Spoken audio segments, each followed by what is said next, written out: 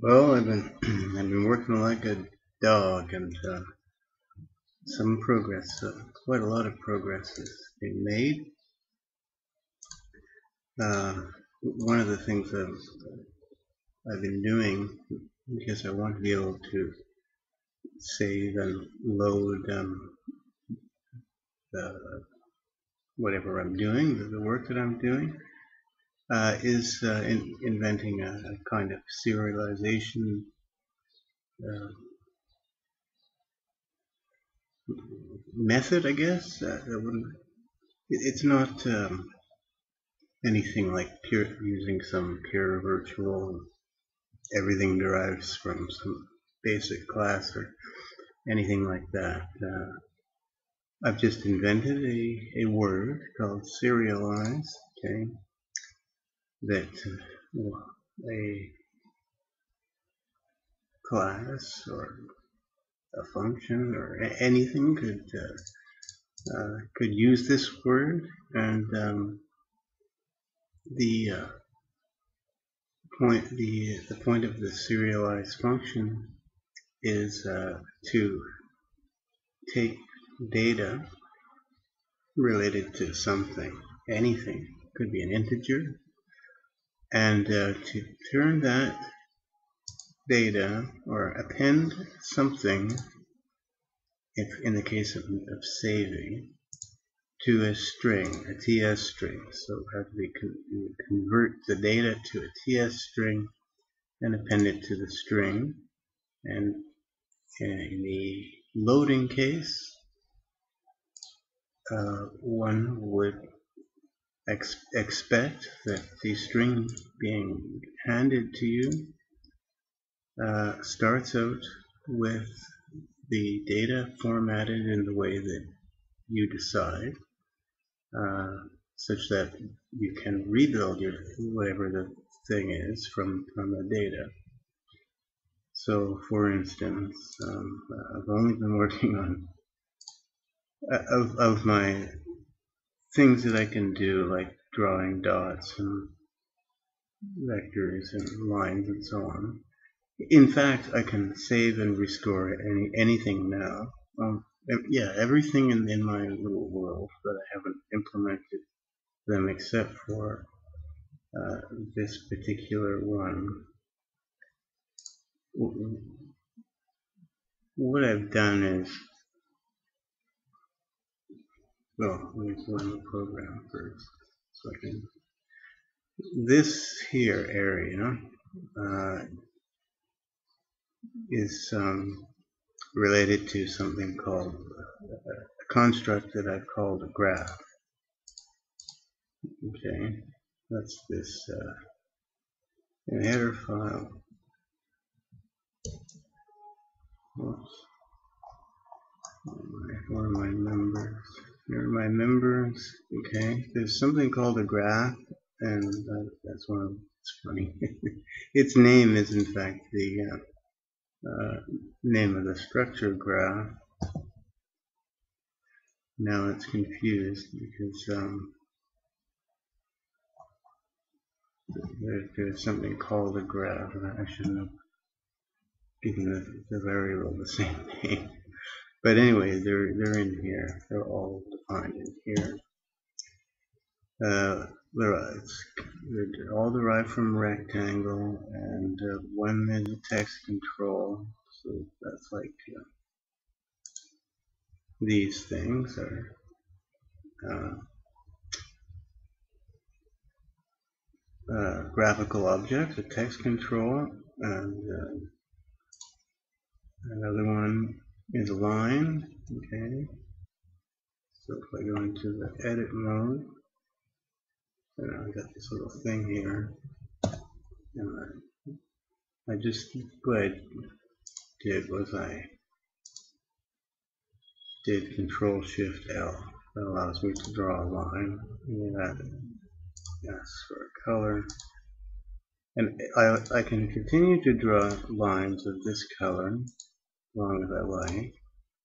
Or if I want to change the color, all I do is just do that again and I can change to a new color. Okay. Now this uh, this is like a, a little sub-state of the editing state, the line drawing sub-state, if you will. uh, now, um,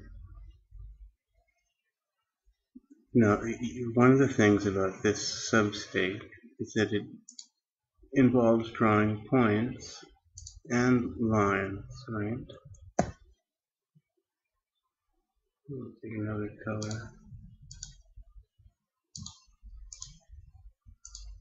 Here I've got a collection of uh, lines and one point, right? That's fine. That's fine. There's there's no problem with that. Except that um, if I want if I wanted to now start doing something else like drawing uh, a box or something, right? And that also involves uh, lines and dots. How do I tell? You know how how can I tell what you know which belongs to which? That is um, maybe it's not critical, but um, one, of the things I, I do, for instance, is if I exit this edit mode, I, I hide that stuff. But if I turn it on again, oh, well, it will come back if I do something. I should have, I should be in, forcing a redraw at that point. See, all all these all those things are still there, right? Now, uh, if I also had other types of objects uh, that weren't created uh, in this line drawing state, um, I would like to be able to sort of view those as a diff, diff, different thing that, that I can hide and show. You know what I mean. Like, it would be bad to say remove all all dots and all lines because because if I'm hiding, let's say, uh, just just boxes or something, because then I would lose these ones. Anyway, that's irrelevant. That's totally irrelevant. Uh, the point uh, the point is that um, the way that I used the, the, method I used to simplify that involved uh, group grouping the the sets of, of uh, graphical objects into uh, their own little groups uh, and then um, then I don't get I never get confused with what I should be erasing and what I should be keeping and so on. But uh, one of the things though is that that serialize works for the, at least for the lines. I can open up, here's one I saved earlier,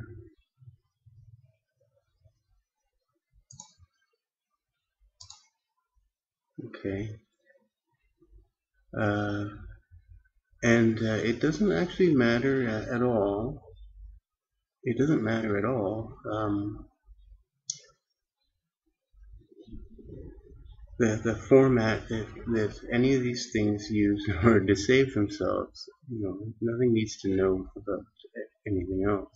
In fact, I can go into the edit mode here and start drawing lines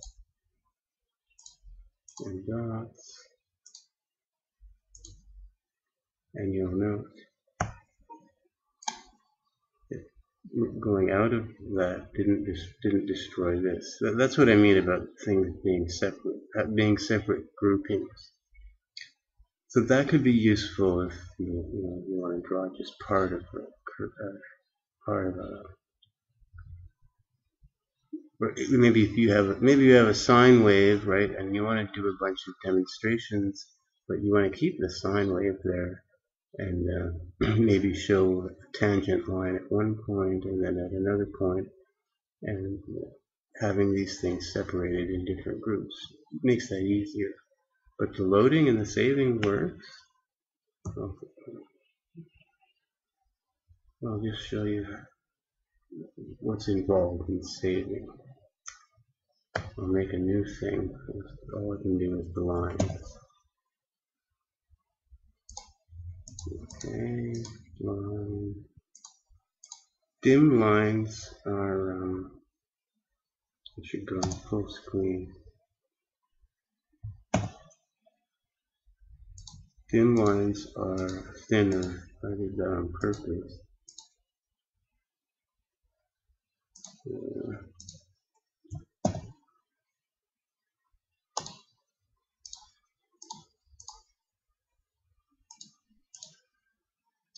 Okay, now I want to put one point there.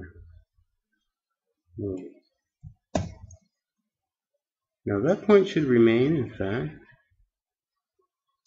Green. Dot break green. Oh, I just ran over my point. Okay, another point.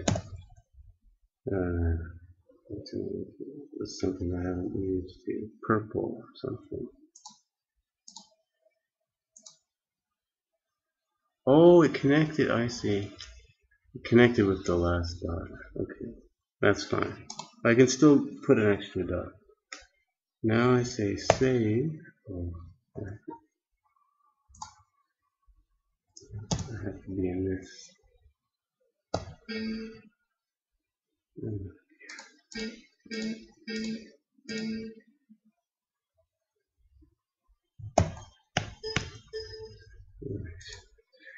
Never mind, never mind that. I can still save this.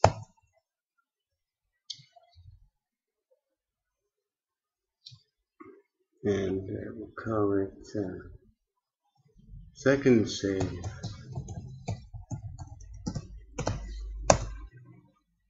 Okay. Now I actually print out the uh, printed out here uh, what was saved. It was just a string, and that's the string that went into the into the file. Uh, let's just see it actually in action. So the save starts here. If I do Control S,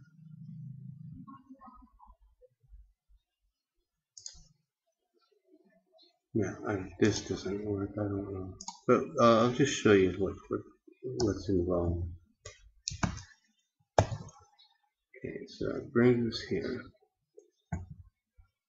So now um, the only one I've implemented of the substates is the line drawing state. Okay, so serialize loading is false, and here's the string initially empty. And all it's going to do is fill up that string with the information required to rebuild whatever this thing uh, has currently uh, remembered about its its what I've done in the line drawing substate. So go in here. It's loading. No. So now uh, it's just going to the graph object. Um, all of these things, uh, like the substates, have uh, an associated group identifier. See this? Uh, this is generated once uh, when I enter one of these substates, and that identifies the graphical group wherein any edits I do in this substate go, go there. So that's how I can recall those and make changes to one group or another, or hide one group or another. Anyway, uh, I need to supply that identifier to uh, this graphics thing so we can find out which subgroup I'm saving. I'm not saving to a file, I'm just saving it to a string. Okay, so now we're in the graph. We're not loading. So now it is just going to attempt to find that group that identified by this string, and it will find it. So I won't go through that. It finds it. Okay, now here's the group. And here's what a group has. It has uh. It can have texts, p fun funcs, uh, regular funcs, point set, something called a point set. Uh, it has a name, an identifier, and that's it. So here's the save. First, uh, I want to save the name of the, this is a graphics group. It has a name, and uh, I want to save it. So I invented a, for TS string, I invented a function called serialize, uh, which has the property that it writes something to a string that can be used to retrieve it later on if it's in the right format. Right? If, if it works one way, reversing the operation should also work. It kind of seems strange to save a string to a string, uh, but uh, I have to save it, so I have to save it. I can show you the way that that's implemented. It doesn't matter. Nothing has to uh, follow a particular way of saving something. It's independent of the method used to save and retrieve. For a string, what I do is uh, I get the length. Okay, now I have a function for saving an integer or loading. So I'm going to call my serialize int function and uh, that will either write the number to a file, I mean to a string, or retrieve a number from a string based on however it works. Okay, the way this one works is um, if it's loading, which it's not, it would string toke to a semicolon and then do a string scan for an integer. The opposite of that, that is uh, when saving, is to append to this string an integer value and then a semicolon. That way it will work properly in reverse. So our current currently our string has the number 9 and a semicolon. Okay, now this thing doesn't care or ever worry about how this works. That's independent. As long as it works in both directions, it's fine. Uh, all I know is that uh, at this point now I'm going to write my string out and if I, if I am presented with a string that is in the format number, semicolon, and then string, I know that the next so many characters are my string. That's why I don't need any delimiter or anything for this for strings. And I don't want a delimiter for strings because the delimiter might be part of the string so I don't put one in. Okay, uh, now I look now so our string looks like that. I'm going to now serialize the next string. So now our now our string looks like this. Okay, are we loading? No, we're saving. Uh, so the method of saving a graphical group first is uh, points. I want to save off um, the number of what I call point sets. A point set is a collection of points and a color. Okay, but I want to first write out the number of point sets that I have, which is one. Okay, uh, so use the serialize int for that. And now I'm going through uh, the point sets And uh, PointSet has invented a serialized function for itself to save and retrieve itself. You see how, how this sort of just naturally writes itself. It's hard at the beginning, but it gets easier and easier as you go along because more things will have a serialized function and it becomes easy to, to make serialized. So for a point set, which as I said, is just,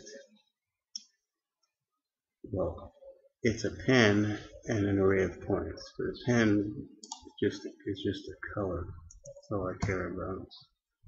So uh, first, uh, first thing it does is it, uh, if it's writing, it writes out the number of points in the point set. So here's a struct now. The point set with one point. Uh, now I want to uh, save the color. Uh, now I have invented something called V color, vector color. Thinking of a color as a point in three space with red, green, and blue from 0 to 255. And uh, I was using this for doing things like averaging, you know, or mixing colors. But it also comes in handy in this case because uh, I added a serialized function for V color. And the way that works, it's quite well, pretty obvious. Uh, in the writing state, it takes its color ref value and writes it out. Like in this format hex six digit hex number with leading zeros. So it always has to be the same length therefore reading oh followed by a semicolon. Therefore reading one back in is quite easy uh, I can you know I know it's going to look like that, so I can do a string toke and then use mid to extract the red, green, blue values. As it is, our, our thing here, here is white, so the point is white. That's funny, it seems wrong. Um, worked before. I might have messed something up.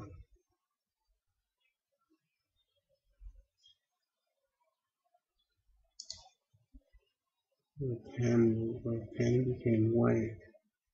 Oh, I know. I, I messed everything up because I changed from full screen and everything. No problem. Doesn't matter. It wasn't white. It was something else.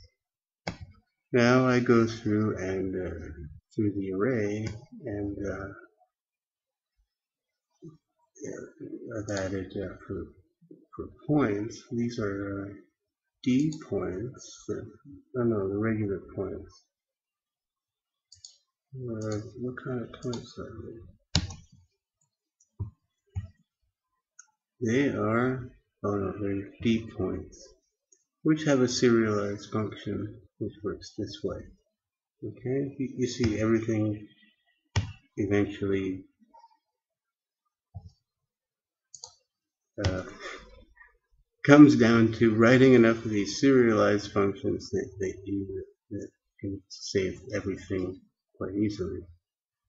Uh, now for the functions, first uh, the count for uh, function, uh, Cartesian functions, uh, and then iterate through the functions calling their associated serialized functions. Well, I don't have any of those. But I do have a lot of lines, and those are P functions. Uh, these ones, what I do is first uh, get the type name, I parametric line, and um, write out its name and then each function has a serialized member. This one's virtual because I don't know what type of function it might be. uh, now, I mean, this is going to be white again. Oh no, it's not white. Okay, well the, this has a color, and the color was written out.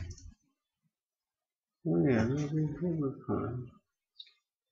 Uh, now then, uh, for this particular function, it has two. It has two points and two doubles, which is like three points. So I took, I made use of the uh, point serializing to do the range part. I put them in a point and use the serialize for for d point that I've already written. So that saves me having to write another serial. Okay. Then I get to here, and now I have this group may have text controls. Uh, you know, I, I could have used my serialized int. This this is the same, it turns out. And I don't have any text controls. And done.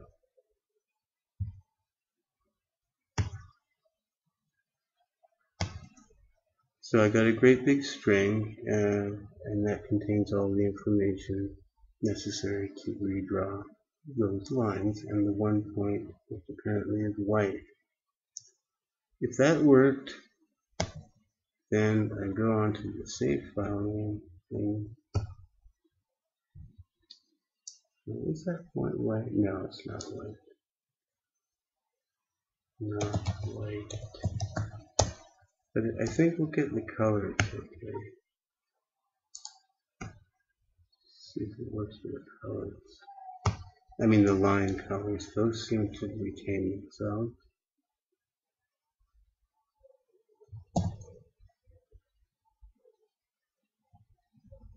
But probably because I changed from full screen and back, that caused a reinitialize of something. Yeah, see, it's the wrong color for that. Whatever, little bug, little bugs, easy to fix. Uh, now I have serialized functions for all of my other functions, so I can implement the corresponding serializing uh, functions for these substates. Uh, and uh, so it's pretty good, and the, the, grouping thing is good because it helps me keep things uh, organized. Um, I might, for instance, have a group of uh, uh, lines and dots that correspond to uh, what I'm currently working on, and um, another one uh, corresponding to what I'm editing in the editing state, maybe, you know, and I could go from one to the other. Uh, I don't know, but I'm sure that it, it'll come in handy somehow. So that's one new thing that I can do, and what I want to add is um, here I have the various things I can these things uh, require some editing but I should be able I'd like to be able to to um, add something predefined here right? It's like a sine wave. So I might put a sub menu on here that would come up with a a, list of things, predefined things with a sine wave, and uh, maybe they'll ask it'll ask for a couple parameters for sine wave, uh, wavelength, amplitude, and phase. So the three numbers that you would want to put in. Uh, I might want to do log x or something, right? Or e to the x, things like that uh, and those you know those have two one or two parameters you might say. okay but that that's not important that's not really what I want this for anyway I want to demonstrate the other thing and I'm almost there so this will be another random Another one to the random chit chat. See ya.